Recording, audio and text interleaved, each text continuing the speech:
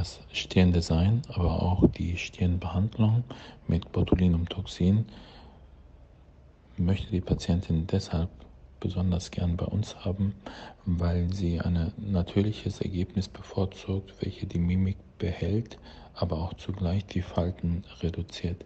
Das zeigt die Charakterstärke und die besondere Natürlichkeit und Verantwortlichkeit unsererseits, dass wir auch ein solches Ergebnis versprechen, auch dieses Versprechen auch einhalten können.